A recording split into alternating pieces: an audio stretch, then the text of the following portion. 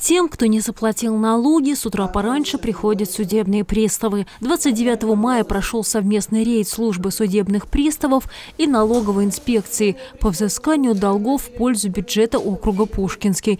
Данный рейд является еженедельным. В его ходе судебные приставы-исполнители в среднем обходят 15-20 адресов.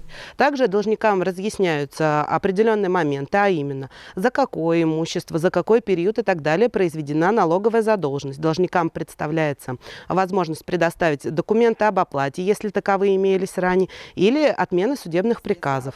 Также был обнаружен должник, на котором сумма задолженности больше 30 тысяч рублей. Составили акт описи и ареста. Анастасия Спирина, Владимир Парфенов, Яков Глейзер. Новости Большого округа.